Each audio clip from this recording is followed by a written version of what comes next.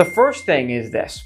You have to understand that the hospital staff, they cannot see the patient's home environment and the patient's scene.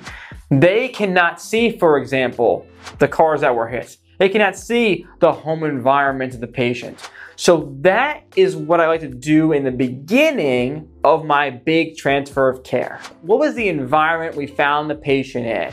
What were they like when we first got there? And then obviously, where are they at now? That in a nutshell is a transfer of care, right? Now we're gonna go and break it down a little bit more, but that's the basis of transfer of care. Where were they at in the beginning and where are they at now? And they get better or worse? Or are they the same? That's a transfer of care.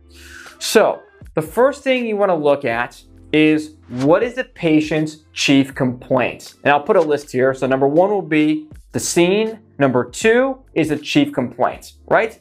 So is it medical or traumatic? Like what happened, right? What occurred today?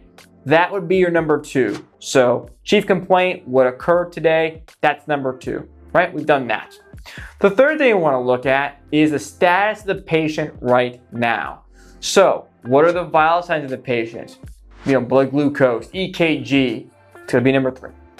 Number four, you've told me about the patient. What have you done to this patient? Have you given any medications to this patient? Any interventions? Have you splinted an injury? Like, what have you done to help this patient? That's number four, right?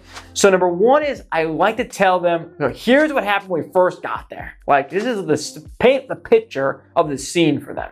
The second thing is why they call.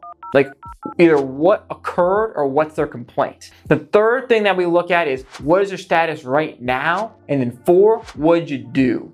That's gonna be your transfer of care.